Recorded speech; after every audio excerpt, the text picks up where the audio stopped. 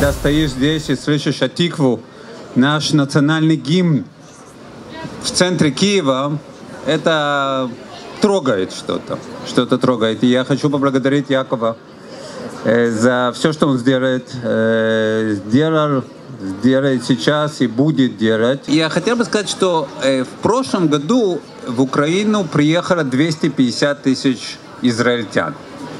Это огромная цифра для нашей страны, в которой всего 8 миллионов человек. И эти люди приезжают сюда не просто так. Они приезжают сюда, потому что они чувствуют себя здесь хорошо, они чувствуют потому, себя уверенно из-за того, что у нас есть замечательные связи между нашими странами. И все это, это также благодаря вам.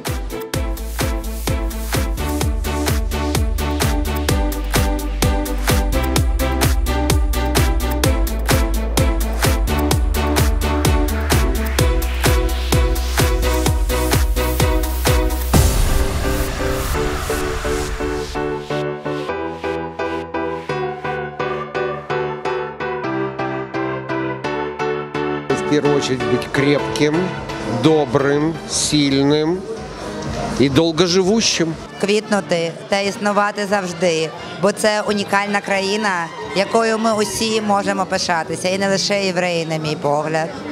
Я думаю, самое важное – мир и процветание. То, что нам мир, то, что мы хотим, и надеемся, что он наконец-то будет у нас, и процветание государ- моему государству. 70 лет это, в принципе, э, для страны детство. Поэтому, если удалось за 70 лет такое сделать, я представляю, что будет за 170. И э, хочу пожелать, чтобы действительно страна не останавливалась ни на день. Ви знаєте, я народився в День Незалежності Ізраїля і по е, світському, і по єврейському календарях, по обох разом. Так що я завжди думаю, що це для мене подвійне свято, і я завжди хочу, щоб Ізраїль і я були впевненими, е, були щасливими, е, були такими, що радіють своїм друзям і перемагають своїх ворогів. Я хотел бы по- пожелать Израилю то, чего я хотел бы пожелать Украине и другим народам. И это, на мой взгляд, самое главное, это мира, чтобы у нас все люди были, э, жили хорошо, без риска войны.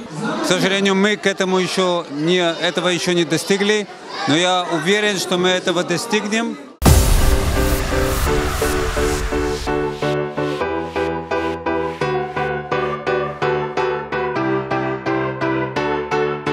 думаю, что наши взаимоотношения очень хорошо развиваются последние годы, и они будут только укрепляться и становиться и лучше. Мені здається, що наші відносини, відносини між нашими країнами теж будуть розвиватися, будуть міцніти. І Україні є чому навчатися саме у Ізраїля. Отношения всегда были теплые и близкие.